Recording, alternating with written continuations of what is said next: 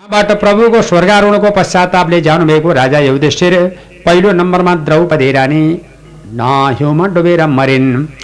यो द्रौपदी रानी मर्नु कारण के थियो भनेर सोद्धा यिनको सबै कुरा राम्रै थियो। तर एउटा कुरा यिनमा गल्ती भयो। के भयो?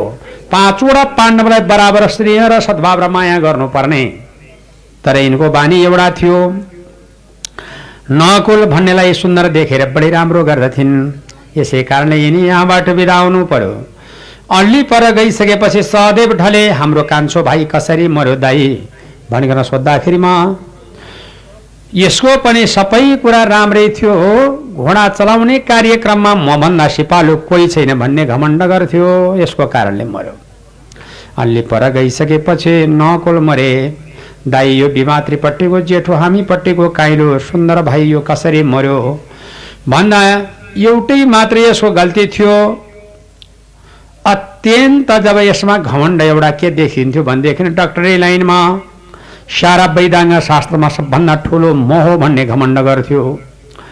अनि अल्ले पर गइसकेपछि अर्जुनै ढले दाई हामी भन्दा जब सबैको प्यारो सबैको ईश्वरको प्यारो पनि र हामीभन्दा सबै बलवान पनि अत्यन्त ठुलो पुरुषार्थी जसका प्रतापले महाभारतको विजय भयो।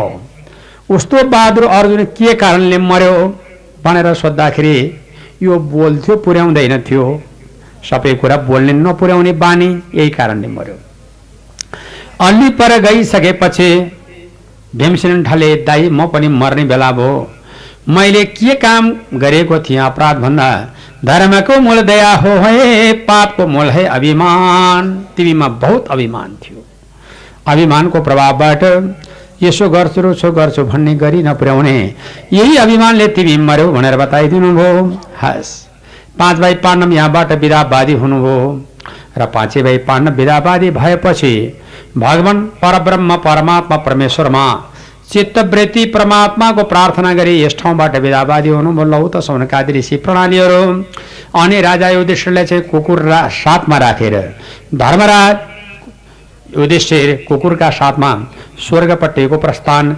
यही तबर यही तरिकाबाट प्रस्थान गरिसके बक्स्यो भन्ने को कथा यस अध्यायबाट।